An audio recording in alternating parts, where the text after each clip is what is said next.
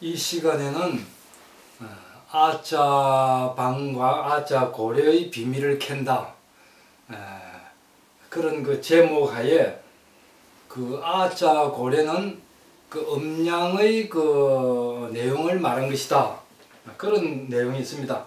와열 비결 어, 제 6권 어, 오행론에 보면은 어,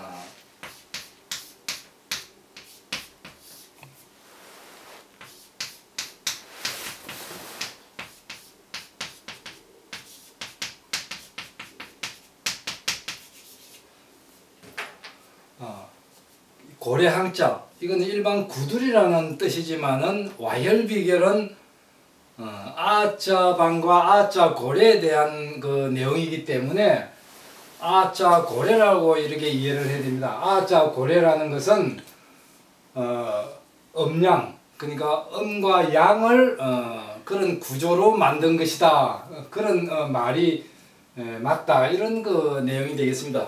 그래서 어, 제가 그림 파일을 어, 석장을 어, 어, 편집해서 나왔습니다. 이 아자 고래는 음양설을 말한 것이다.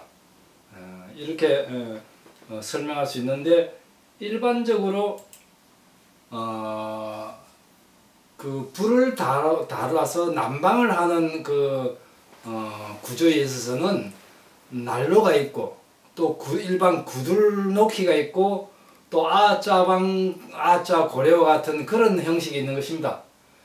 그래서 이 난로라는 것은 어, 그 화실에다가 하목을 넣고 불을 붙이면은 그 뜨거운 하열이 위로만 빠져나가는 그런 그 어, 구조입니다. 그래서 어, 이 난로라는 것은 어, 그 화실에서 적은 양의 불이지만은 오래도록 탈 수 있도록 burning time을 그 어, 길게 하는 것이 가장 그 열 효율이 좋다 이렇게 하는 것입니다. 그래서 난로라는 것은 열기가 위로만 이렇게 빠져나가기 때문에 그것을 억제하기 위해서 어, 굴뚝에다가 댐퍼를 달고 또 아궁 그 화실의 공기구를 조절해 가지고 그 화목의 타는 그 시간을 조절하는 그런 어, 어, 구, 조인 것입니다.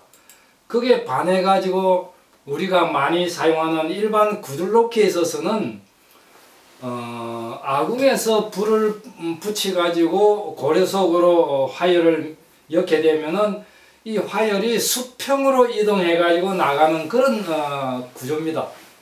그래서 난로는 어, 수직으로 오르는 어, 그런 그 어, 화열의 구조라면은 일반 구들은 수평으로 이동하는 어, 그런 구조인 것입니다. 어, 그런데 어, 아, 저, 제가 말씀드리고 싶은 이 아자 고래라는 것은 수직도 아니고 수평도 아니고 어, 첨언지는 그 아자 통고래 속에다가 하목에 불을 붙이면은 이 불이 위로 올라가는 것입니다.